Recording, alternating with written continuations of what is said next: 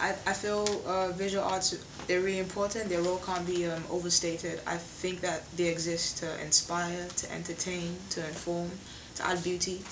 Do I feel instantaneous imagery is positive or negative? I believe that it's both. I, I believe that on the on the negative side, you have this um, there's a loss of decency, you know, with instantaneous imagery. That the, there's the paparazzi, they take your picture, stuff that's private becomes public in the blink of an eye. There's nothing you can do about it. The other day, I, I read about the photographer who took a picture of the guy that was about to get crushed by a train.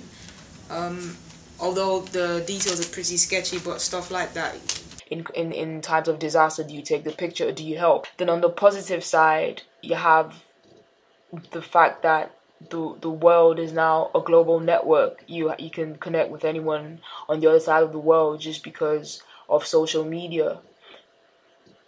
What popular images do I frequently see which I'm throughout the entertainment industry? Well, one really big one for me is the whole secret society thing, the new world order kind of thing. So that's like the all seeing eye. You have it in movies, in the music industry. It's big business, it's big talk, and uh, you know I think it adds a bit of glamour and mystery to the industry, and they welcome it and they fuel it because it gets people intrigued.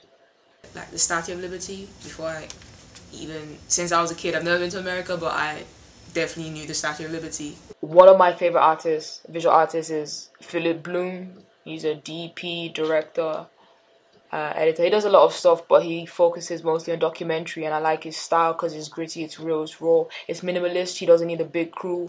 Wow, um, I don't really focus on fame. I, if anything that catches my eye, anything I find that makes me stop in my tracks, anything that makes me think, I could take a picture of it. I could anything really. It doesn't have to be famous, but it, studying art has definitely helped me improve my work and aspire to be great.